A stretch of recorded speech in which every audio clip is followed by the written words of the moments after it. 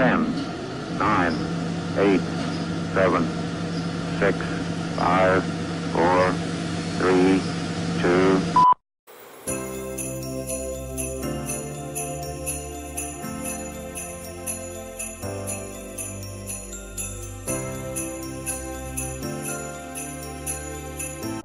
Hi, I'm Jeremiah. And I'm Jeff. This is episode 174th of the Magnolia Clubhouse Weekly Report. And the last one after Christmas, speaking of which, why are we at the North Pole of all places? We're here to get some Christmas goodies from Santa's shop. Yeah. You want more presents after Christmas? Whatever. Let's start out with our top story. Hello, everyone. I'm Matthew, and we have a special guest on our weekly report. Please introduce yourself. Hi, I'm State Representative Bride Rose Sweeney. Mm, thank you for introducing yourself. Of course. Right. Um, we're very excited about your visit. So, can you tell us about what you think of our clubhouse so far? Um, I am truly blown away. The amount of community and passion, um, and I think um, the spirit of this place is truly remarkable. And I uh, want to do everything I can to be helpful to you guys. Thank you so much, Bride. As a matter of fact, your work as a member of the Ohio State, well, Ohio House of Representatives is very important, and we appreciate your support on the capital request. So, in your own words, can you tell us why it, you think it's important for support for the mental health community? Because everyone uh, deserves to have a place uh, where they belong, where they feel that they can have a community, and especially uh, those with behavioral health, um, you know, issues or concerns. Um, you know, this is a place I want to hang out in, and I think everyone deserves to have that. And I think the state, or I know that there's more that the state can do to be helpful uh, to you guys and the work that you're doing. Hmm, good to know. Thank you for all you do. So, is there anything else you would like to say for our community? I just wanted to say thank you for having me and thank you for being advocates. Um, you've truly, uh, really moved me, and you have my commitment that I'm going to be helpful. And I hope you know that your voices are important, your advocacy on behalf of the issues that you care about. And I hope you reach out anytime to me and your lawmakers because we work for you guys. Thank you so much, Bride. Thank you for your time. All right, everyone. I'm Matthew. That was it for Ohio Representative Bride Sweeney. And now back to more main Magnolia News. Thank you. Great top story. Yeah, but it's freezing up here. Let's warm up with that report from membership. Greetings. We hope everyone is enjoying their holiday season and we want to wish everyone a happy new year. Thanks for tuning in to this week's employment broadcast. I am Mr. Happy Holiday Jeremiah, and with me is my sidekick, the red nosed Asian. I'm excited to be here for this update. Please keep in mind that the clubhouse is looking forward to working with the city of Cleveland to develop future transitional employment opportunities. This is exciting news. In other news, we want to share a relevant resource involving the city of Cleveland. The city will be conducting a hiring event to fill positions in various departments. The event will be held on January 12th at 3 p.m. in the City Hall. For more information, please see membership. Let's transition to our next topic. We would like to inform everyone that legal aid will return to the clubhouse and present on workplace rights as this has been a hot topic for our members. For example, understanding the basic concept of when to take a break on the job is one of many topics included. The session will happen on January 23rd, Tuesday at 2 p.m. A sign up sheet will be available. A big shout out to Legal Aid team for this wonderful presentation. Just a reminder for all the members, the employment education meeting is held every Tuesday at 2 p.m. on membership. Please attend this meeting if you have a desire to find employment or go back to school. Please talk to your staff or see membership. New Year, new me, and I encourage everyone to follow suit. See you next time for our segment. Peace. Great membership report. Thank you. Say, aren't there supposed to be penguins up here? No, penguins are at the South Pole. Up here we have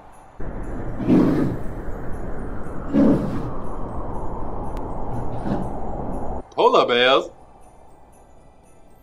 Let's run over to the Friday Fun Day theme. Hello, everyone. I'm Matthew, and I'm here to tell you the very last Friday Fun Day theme of this year. Before we move on to 2024, folks, we have to remember what made 2023 fun. Let's look back with your favorite memories. So before you write your New Year's resolution, come on upstairs on Friday and tell us what your favorite highlights and memorable moments were this year. See you in 2024. Later. Thanks, Matthew. Well, I better keep that in mind if we don't get frozen frozen up here first. Now, now that we lost the polar bears, what's up with the social events this week?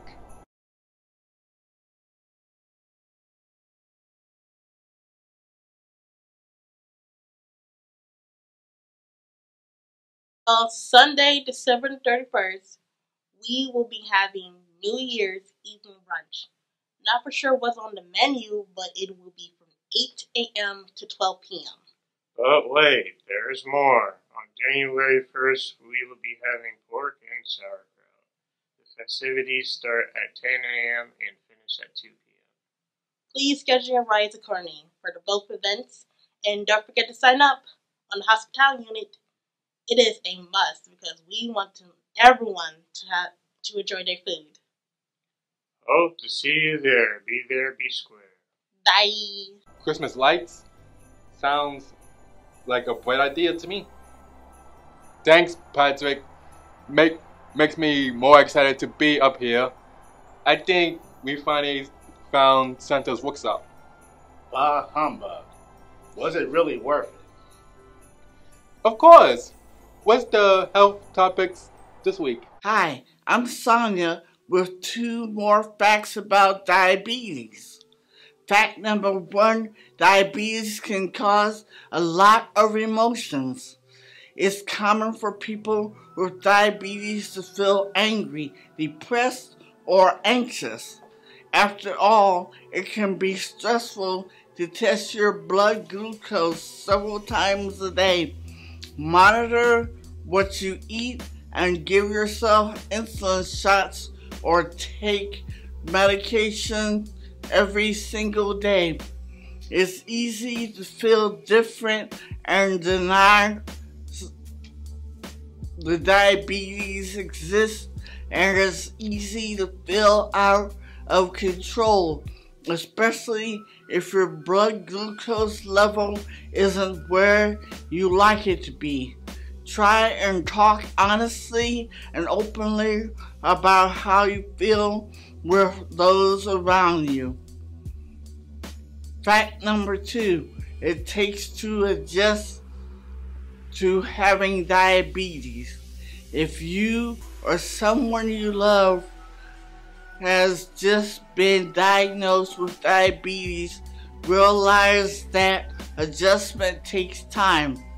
After all, it takes a lot of finger pricking, blood testing, shot giving, and self monitoring to reach and retain normal blood glucose levels over time. It also takes patience.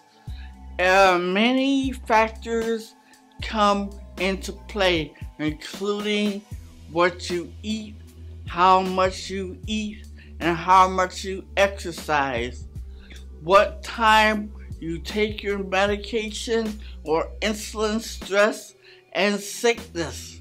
Thanks for the health topic, Sonia. Isn't it great that we're in a toy factory now? Yeah, finally. Yeah, let's hope the elves don't kick us out. Let's see what's going on in the kitchen. Hospitality, what's cooking? Good afternoon, Magnolia Clubhouse. I'm Gina, and I hope that you had a great holiday. I will be I will be bringing you this week's menu. Today we will enjoy leftovers from Christmas Day. Thursday will be tuna over rice. And Friday, on Friday we will enjoy chili. Sunday is over our annual New Year's Eve brunch. Please be sure to sign up on the hospitality unit. Magnolia Clubhouse will be open from 8 a.m. to 12 p.m. Schedule your rides accordingly.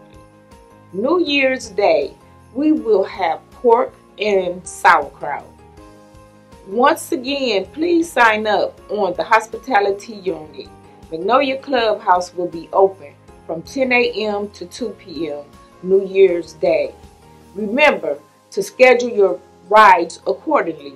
Tuesday, January the 2nd, Magnolia Clubhouse will be closed. Happy, have a happy New Year's. Happy New Year's, everybody. Great menu as always. Sounds tasty. Thanks, hospitality.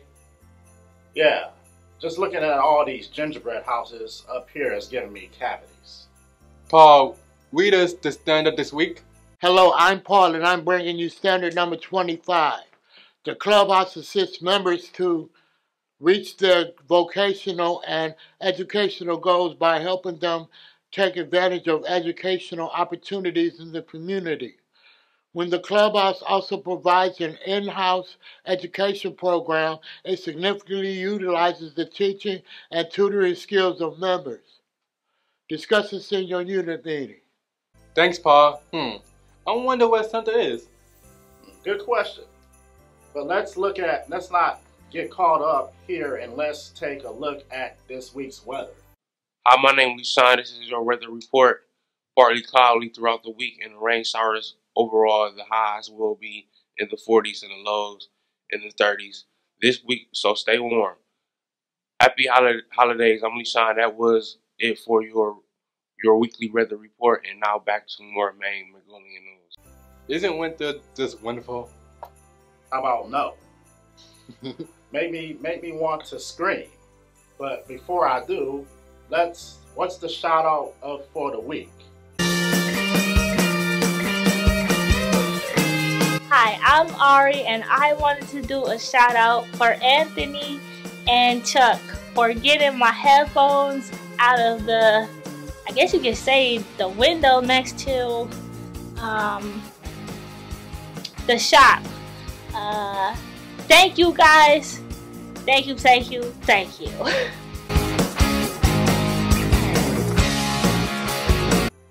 Great job, Zeta. Let's tune in to sports and hear the latest from the 321 guys. Hi, my name is DJ. I'm doing a sitting tree Christmas pose. What you do is sit down and you move your leg like this, and then you raise your hands like this, and that's Christmas tree pose. Then we do the other side the same way.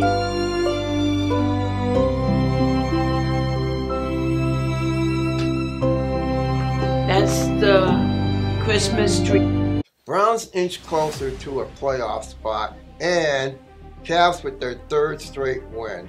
Hello everyone, welcome to another edition of Magnolia Clubhouse Sports Report. Along with Scotty the Elf over here, I'm Gandalf the Grey. Moving on to the NFL, where the Cleveland Browns are inching closer to the playoffs. Scott, despite their, their last second victory over the Chicago Bears last Sunday at Cleveland Browns Stadium, which put the Browns at 9 and 5, the Browns still need to continue winning to qualify with the playoffs with only three games left in the regular season. Yes, indeed they do. And they take on the Houston Texans this week at Brown Stadium. And Joe Flacco will once again get the start for the Browns. And Case Keenum will be starting in place of injured rookie quarterback CJ Stroud, who remains in concussion protocol and is likely to not play this Sunday.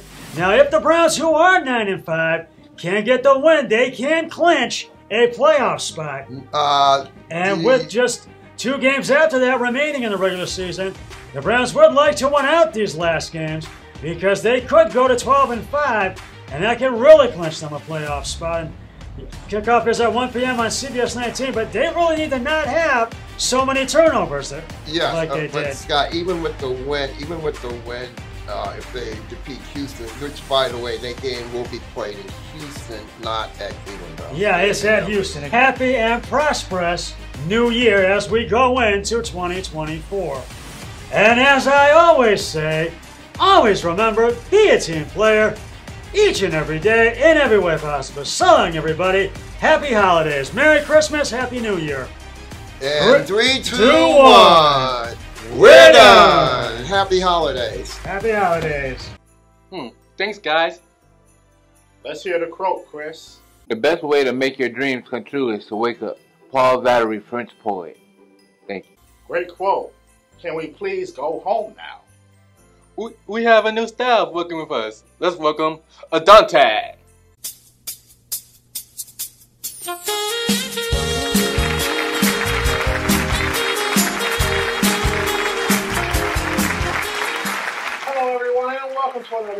Another edition of Ron. I'm Ron.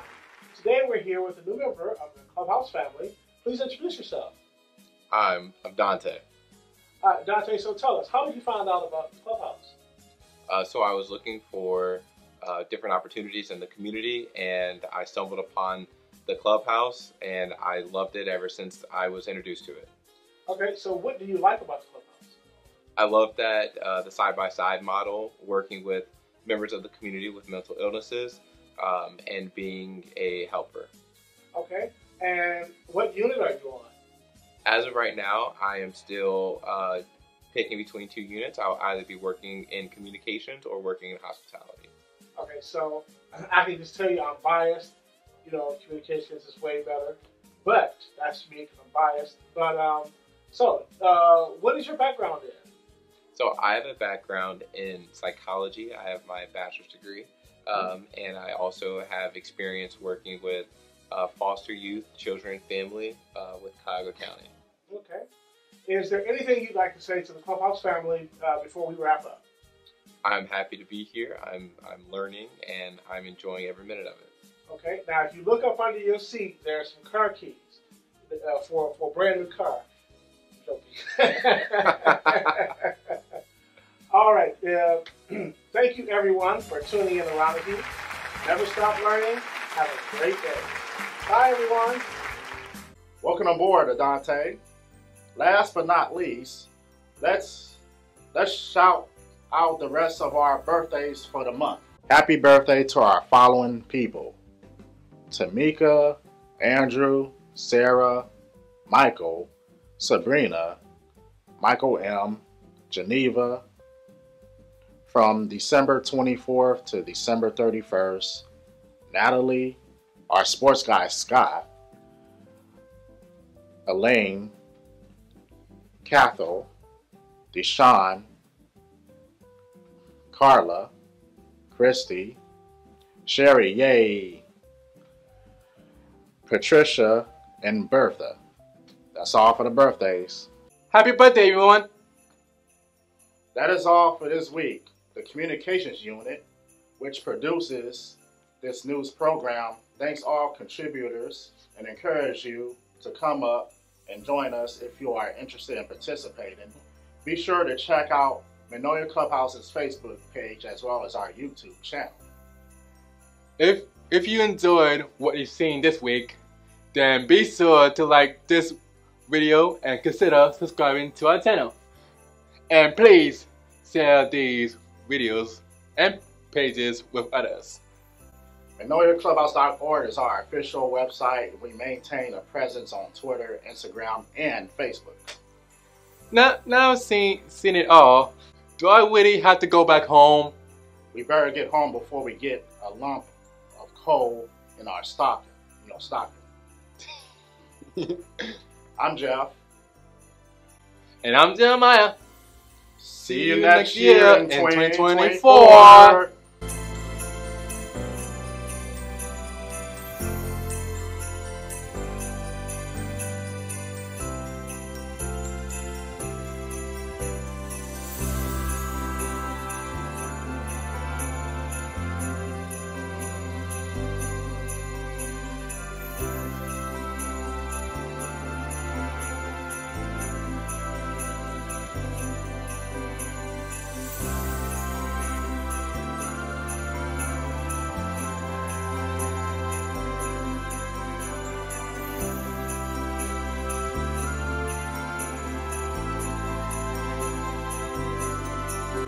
Living with mental illness. Join the club